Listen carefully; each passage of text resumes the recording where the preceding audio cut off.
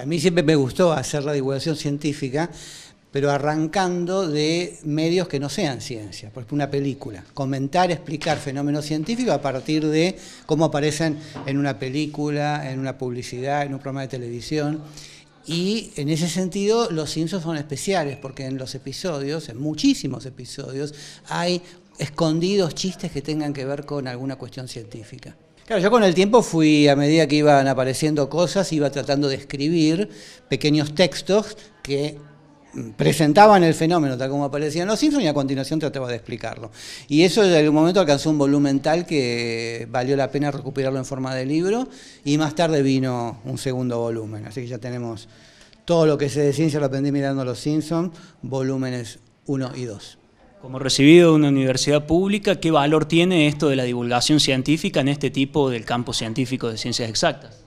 Eh, cumple dos funciones. Primero, eh, desde ya que esto no reemplaza la educación formal. El que quiera saber la física va a tener que sentarse con la matemática y con las fórmulas.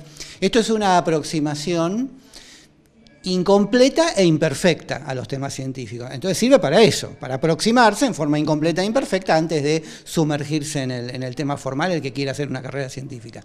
Pero además, aún esta, esta aproximación incompleta e imperfecta es como un ejercicio intelectual, o sea, tratar de entender esos chistes que aparecen en Los Simpsons, aunque no nos convierta en doctores en física, nos hace trabajar la cabeza y eso es bueno. Y esta aproximación imperfecta de la cual hablas, ¿a quién está dirigida? ¿A quién se puede acercar al libro y a este tipo de divulgación científica? Por un lado, todos aquellos que tengan alguna curiosidad científica, pero yo aliento especialmente a la gente que sea curiosa en general. Por eso que decía del ejercicio intelectual. Esto no necesariamente tiene que ver con la ciencia, sino con el pensamiento racional.